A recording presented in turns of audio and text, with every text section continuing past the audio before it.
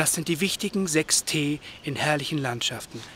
Tanne, Torf, Heimat. Tö.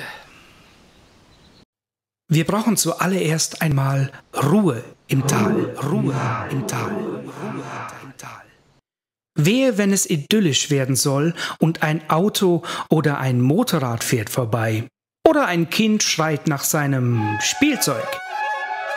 Dann kann man die Idylle schon gleich wieder vergessen. So aber schaut man von einem anschmiegsamen Platz aus in eine bevorzugt weite und freundliche Landschaft.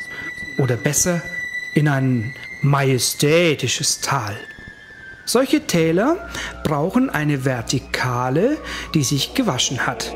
Nur so nicken wir das ab. Das sanfte Murmeln des Bergbaches bei 15% der heimischen Bevölkerung ein Tritonus aus. Dieses Aufragen darf nie alleine stehen.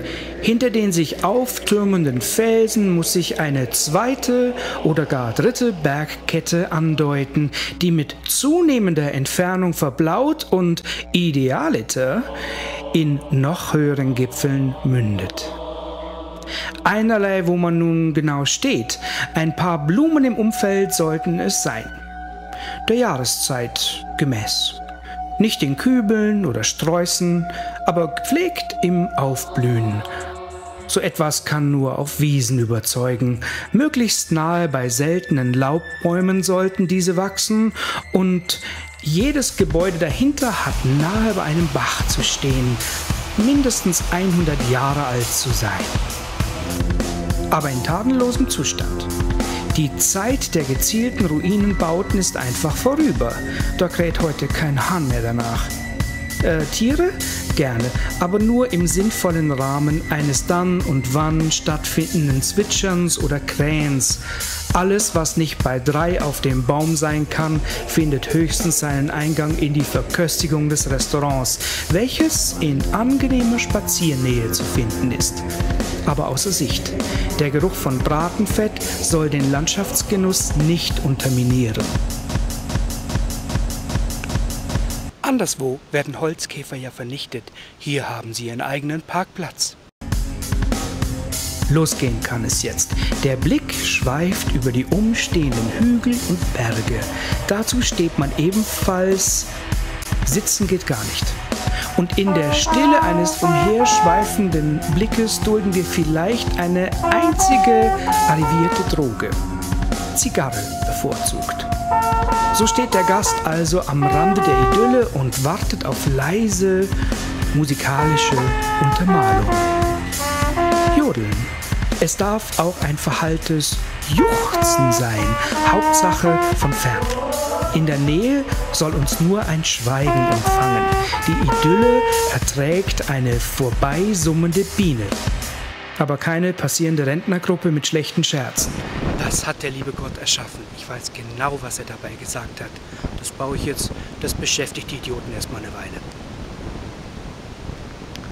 Der hörbar idyllische Dialekt der Einheimischen ist in kurzen, knappen Einwürfen erwünscht.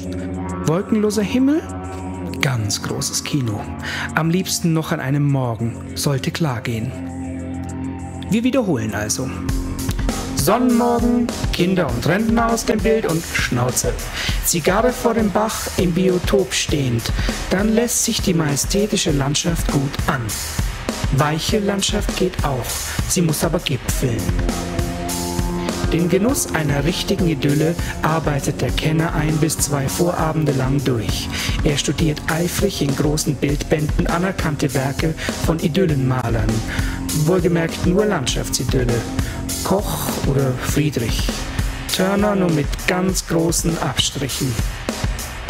Er hat sich auch noch einmal einen Heimatfilm fast bis zu Ende angesehen und dann ist er gerüstet und atmet frei im Anblick des Tatsächlichen durch.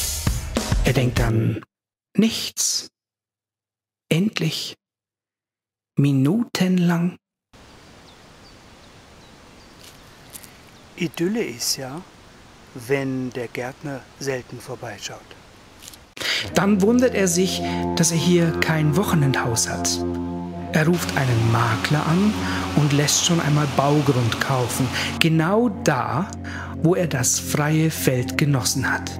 Der Kenner zerstört seinen eigenen Genuss, indem er ihn mit einem Eigenheim samt Hypothek versieht. So geht das.